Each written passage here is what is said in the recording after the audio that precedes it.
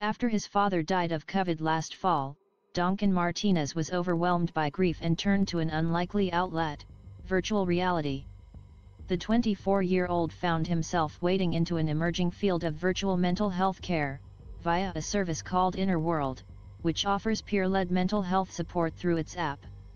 The idea is to bring the principles of cognitive behavioral therapy, or CBT, into the metaverse and enable users to interact with others as anonymous avatars through voice and text-based chat.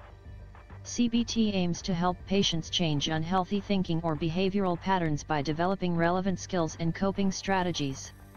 The American Psychological Association describes it as a form of treatment that helps people OC pound learn to be their own therapists.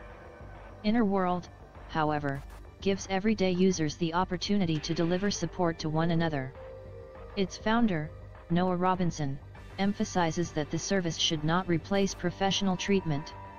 Upon registering, Innerworld users must acknowledge that they understand the app is not therapy.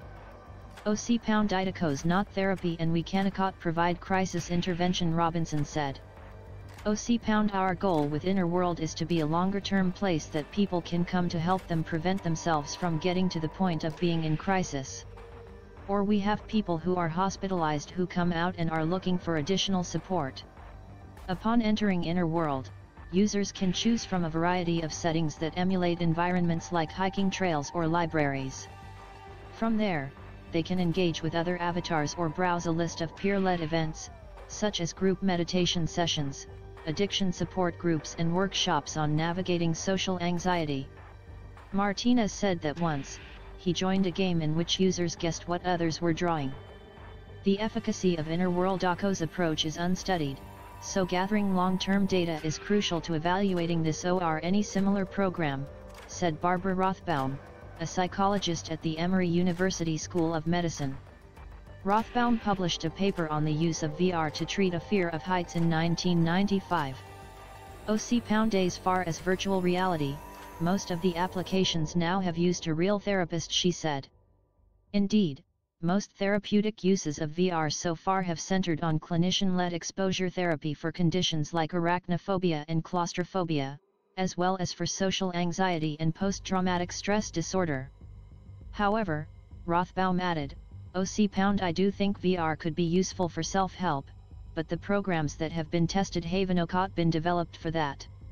Skip Rizzo, Director of Medical Virtual Reality at the University of Southern California Institute for Creative Technologies, said he first recognized VRCO's potential for mental health uses in the 1990s. Rizzo helped pioneer the use of VR to treat PTSD among members of the military. A 2005 report documented the case of a Vietnam War veteran treated with VR therapy who experienced a 34% decrease in clinician-rated PTSD.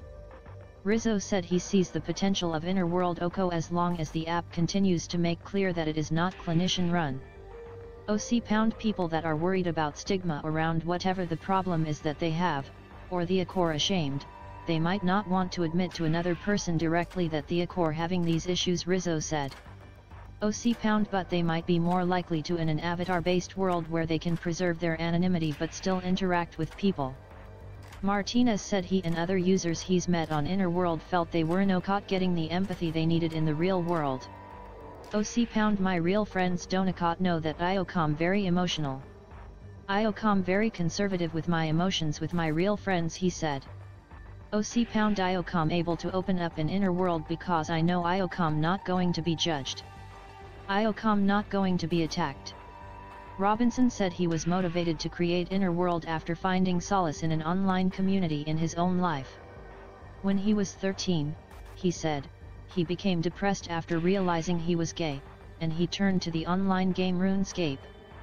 The anonymity made him more comfortable exploring parts of himself he was afraid to face in the real world.